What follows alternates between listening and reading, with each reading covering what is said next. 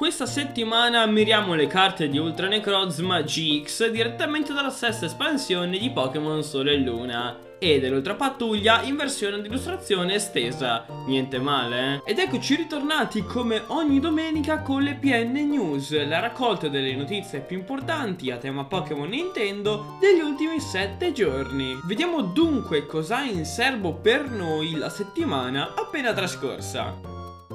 Philippe Lavoué, presidente di Nintendo France, si è nuovamente espresso riguardo l'argomento 4K e VR. Ecco a voi il suo pensiero. Siamo molto pragmatici. Guardando gli headset VR ho dubbi riguardo alla possibilità che riescano a sedurre il pubblico. I consumatori non sono pazienti con l'intrattenimento, a meno che non si offra loro una soluzione completa. Quanto al 4K dovremmo investire in una tecnologia che non è ancora adottata ampiamente. Dove sono sono gli schermi 4K al giorno d'oggi? Dovremmo investire prima che i consumatori abbiano adottato la tecnologia? Non possiamo investire ovunque. E cosa ci sarebbe di nuovo rispetto ai competitor? Se facessimo la stessa cosa di altri saremmo destinati a morire perché siamo più piccoli di loro. A quanto pare quindi Nintendo per il momento non ha intenzione di concentrarsi su questo campo e quindi a parer nostro saggiamente continuerà a sfruttare livelli di tecnologia attualmente più comuni fra le persone. Dopo due mesi dall'annuncio fatto dall'account Twitter di Project Eevee, si è finalmente scoperto cosa si celava dietro quest'ultimo. Infatti molto presto il Pokémon Evoluzione Eevee affiancherà Pikachu per diventare la nuova mascotte di The Pokémon Company. Su Twitter Project Eevee ha anche pubblicato alcune scenette del piccolo Eevee molto buffe. Il Pokémon Evoluzione è diventato famoso soprattutto per via della sua unicità di aver ben 8 evoluzioni, ognuna diversa dall'altra. Inoltre in Giappone vi sarà la possibilità di incontrare la creatura tascabile nei Pokémon Center e al festival di Yokohama Pikachu Outbreak. Week. Direi che questa che è cominciata è una vera e propria rivalità tra mascotte, il Pokémon evoluzione Eevee contro il Pokémon topo Pikachu. Chi vincerà secondo voi? Come già annunciato qualche giorno fa, Nintendo avrebbe pubblicato un video riguardante ad un grande annuncio per adulti e bambini, e così è stato. Infatti è stato annunciato Nintendo Labo, un nuovo kit da gioco per Nintendo Switch che sarà disponibile in due versioni per tutto il mondo, il giorno 27 aprile 2018. Il tutto si basa sull'idea di trasformare dei pezzi di cartone specifici in qualsiasi cosa che possa interagire con la console. Monta, gioca e scopri. E questo è il motto di Nintendo Labo, che è sicuramente un'idea innovativa e mai vista prima. Ma voi che ne dite? Inoltre grazie a GameStop che ha subito aperto i preordini anche nel nostro paese, veniamo a conoscenza del prezzo ufficiale in euro. La prima configurazione, ovvero il kit assortito, costerà 69,98€ e potremo creare macchinine RC, canne da pesca, case, moto ed infine dei pianoforti. Il secondo kit invece chiamato kit robot costerà 79,98€ e potremo creare il robot Toycon. Acquisterete uno di questi kit? Se sì, quale?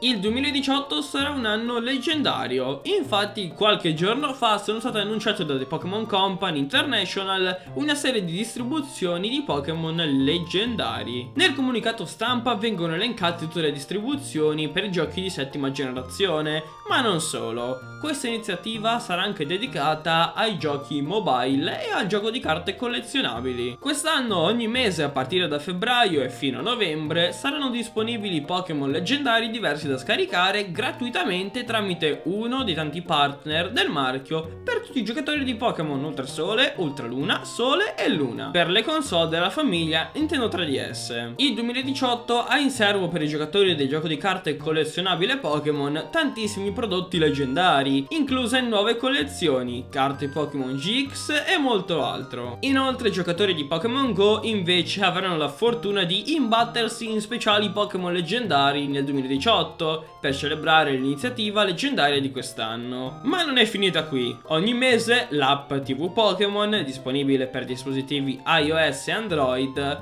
programmerà un diverso film Pokémon collegato ai Pokémon leggendari della distribuzione del mese in questione. Per esempio, il film Pokémon L'ascesa di Darkrai, in cui appaiono Dialga e Palkia, sarà disponibile nell'app nel mese di febbraio. Stesso mese nel quale verranno appunto distribuiti Dialga e Palkia. Cosa ne pensate di questa particolare iniziativa dedicata ai Pokémon leggendari?